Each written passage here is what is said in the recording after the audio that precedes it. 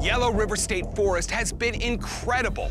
We had so much intel on this area from the Iowa BFRO, plus we were able to examine the evidence they had gathered on previous expeditions. Just in the time we've been here, Hear that? Yeah. we've had action on every night we've gone out. So now we need to pull all that together to figure out where to go for one final night investigation. That humidity was all. Hey, Matt. Hey, What's going on? looking around, I figured we should take a look at the map here. Things have happened down at the low spots along here, and of course you have to consider, is this where the Sasquatches are, or, you know, is this just where the people happen to be where they have the incidents? Down at the bridge, I think it's still a great spot. I did see one thing walk through the tree line before I saw anything else. It looked like an upright figure, but I couldn't say for sure I couldn't see any detail. The spot where Bobo saw this thing walking is within 200 yards of where Bobo and I and Bob heard those strange noises the first night. Despite all of our scouting this week, we found no better location to do our final night investigation than the place where we did our first night investigation.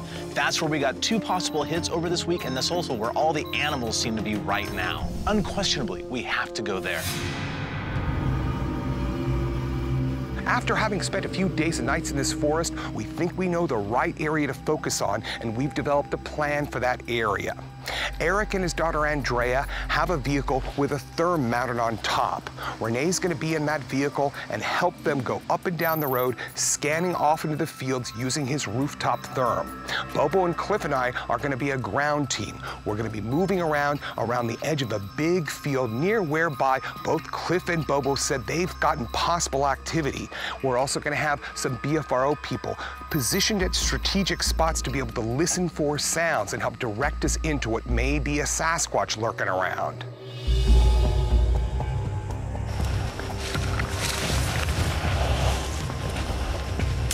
Ooh, what is that? Dude, that was a pretty big branch snap. Is that you? No. Matt, Yeah, right here. We got something right here in the bush. where? Right here. I don't see anything at all. There must be a big old bush right here. I can hear it moving. I know. How the do you get in there?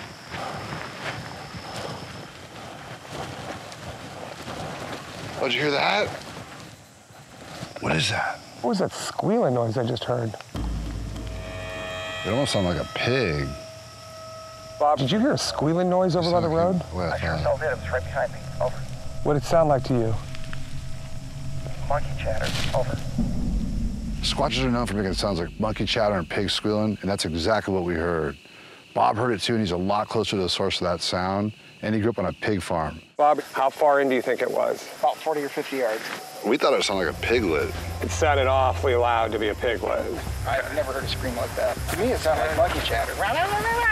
That might have been a squatch.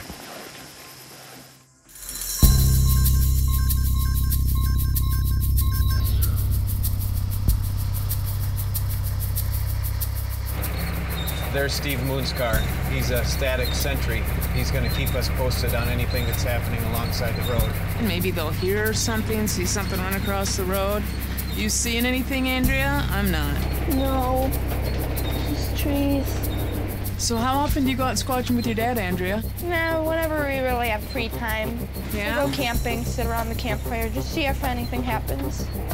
Outside of a periodic worm tree or some of the hot gravel? Haven't seen anything yet. I mean, give me a chipmunk or something.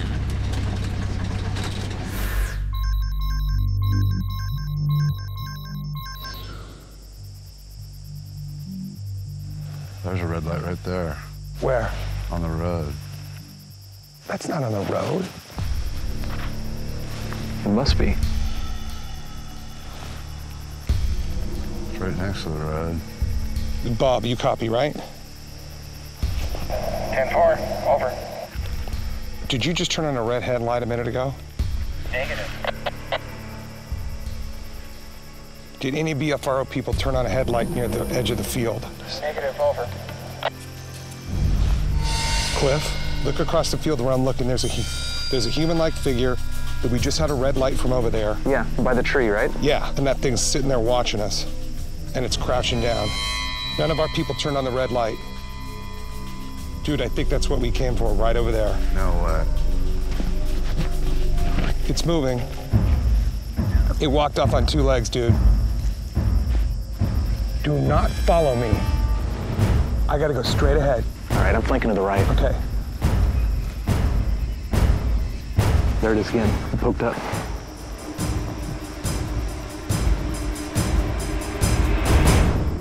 Dude, it's a squatch. I'm getting it. I'm getting the footage. Still there. Matt. Money.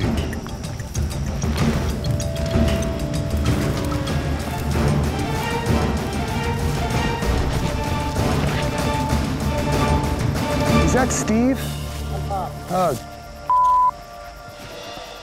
You. I asked if anybody had turned on a red headlamp over here.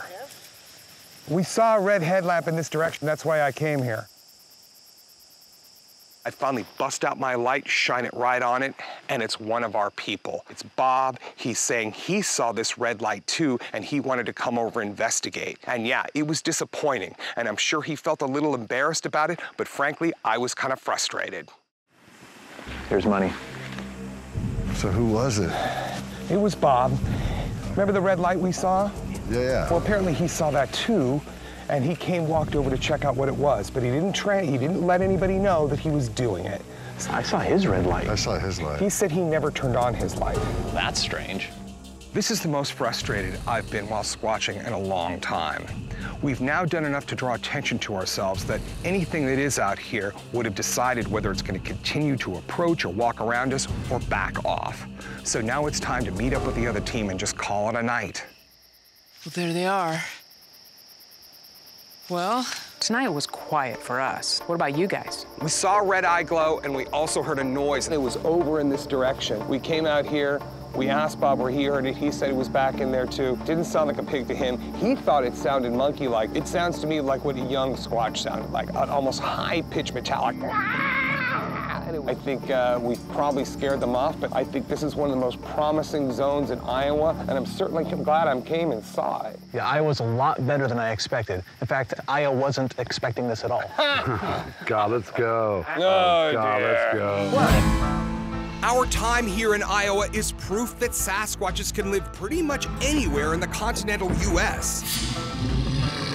This state may be known for its agriculture and farmland, but if you come to places like Yellow River State Forest, up here in the northeastern part of the state, it turns out the habitat is perfect for squatches. Ooh, what is that?